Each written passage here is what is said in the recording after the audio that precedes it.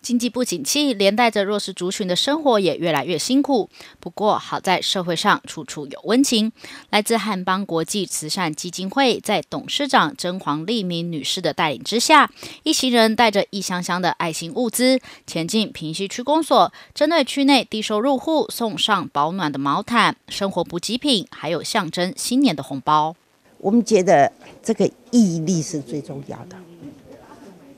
而且。我小时候也是受人家帮忙长大的，到了我自己有能力的时候，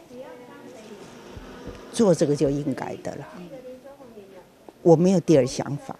我觉得做了就是。除了为低收入户的家庭送上温暖，按照往例，曾妈妈对于警察、消防、清洁队这些单位也是送上御寒的保暖袜，并为他们辛苦在外风吹雨淋加油打气。董事长郑妈妈就说：“虽然自己现在年事已高，但只要还能走，这些公益活动就会持续不间断。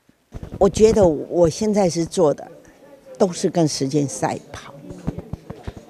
或许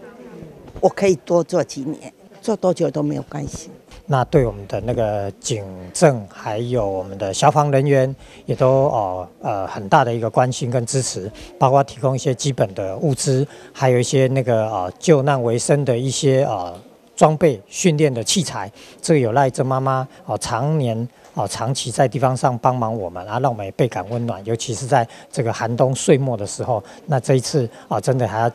很感谢郑妈妈对地方上的关心跟照顾。平西区区长表示，感谢汉邦国际慈善基金会一行人，特别是曾妈妈，每年都到偏乡地区来送物资，并亲切慰问各单位，真的很感谢曾妈妈多年来对于偏乡地区的关怀与照顾。谢成威，平西采访报道。